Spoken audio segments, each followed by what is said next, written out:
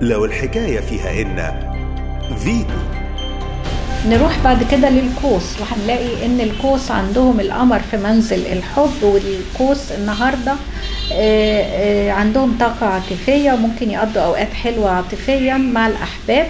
وبقول لمواليد القوس ما تترددوش في إظهار مشاعركم النهاردة آه، لأن النهاردة يوم رائع بالنسبة للحب. آه، كمان في الشغل أشوف إن مواليد القوس على الصعيد المهني عندهم قدرة على الإنجاز ويقدروا يثبتوا آه، نفسهم جدا.